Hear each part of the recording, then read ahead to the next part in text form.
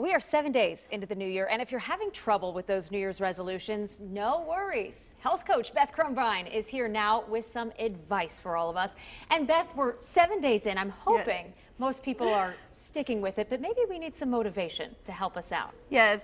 Unfortunately, only um, 95 or 95% of people fail at their New Year's resolutions. 95%? And yes. Ooh. Yes. Rough. So a reason for that is a lot of times we're motivating ourselves through fear, through stress, through anger, and that's kind of a natural instinct in our American culture. You know, we're this go, go, go culture. Of course. Now, instead of that, and, and when you're losing weight, it can be a really lonely path. You can feel depressed, you can feel angry at yourself. How did I get here? And you know, it just goes into that negative train just of thought. Just beating yourself up. Yes, yes. So that's so common, and that is a short-term strategy for motivation.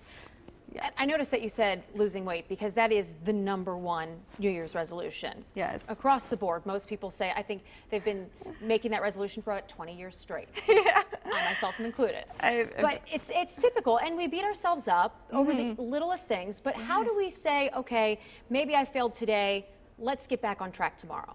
Now, one of the best ways to do this is to cultivate gratitude. And gratitude is the opposite of fear and depression.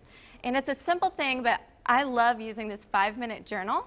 It's basically you just focus in on simple things you're grateful for in the day. And then when you're looking at your goals, instead of saying, God, how did I get this way? I'm you know, 50 pounds overweight. I'm so mad at myself. You look at, well, I'm grateful for my children. I want to be a great role model for them. I'm going to be so much happier when I, when I am with them. So you're really motivating yourself through those positive means instead of this just anger that's not going to last. I think that would be a really tough thing for people to do, especially if that, like you said, that's been our culture is just to, yeah. you know, look at ourselves in such a negative way, but to see the positive first and say, okay, this is what I need to work on.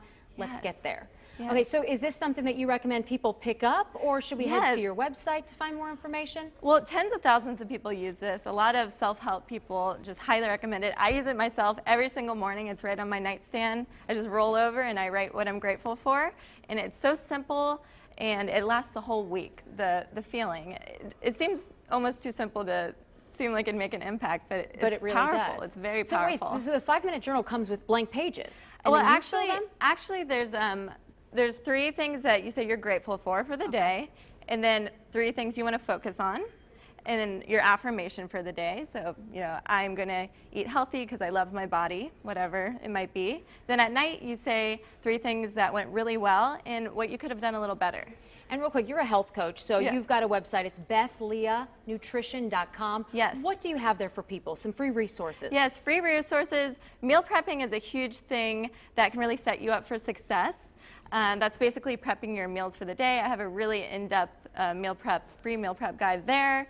And that could be something that you focus on. I want to eat a little better today. I'm going to meal prep snacks I'm going to meal prep my dinner, you know, something a little. And meal prep is really hot right now. And yeah. it really does make a big difference. I've seen a lot of friends succeed that way. It does, because you don't want to be scrambling for what to eat next. It's stressful, if especially if you're hangry, hungry and angry.